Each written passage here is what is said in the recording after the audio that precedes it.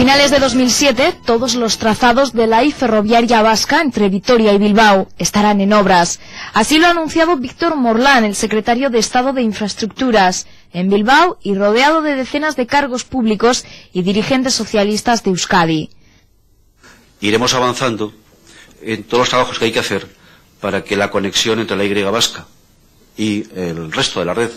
ferroviaria española sea una conexión que se vaya produciendo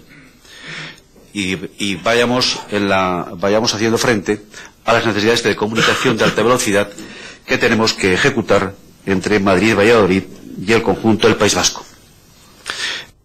Este proyecto es una muestra del compromiso del Estado con Euskadi, un reflejo de la buena sintonía entre ambos gobiernos, un hecho que queda patente también en el incremento de inversiones ejecutadas por el Estado en el País Vasco. Mm, nosotros estamos contentos y satisfechos de nuestras relaciones con el gobierno vasco.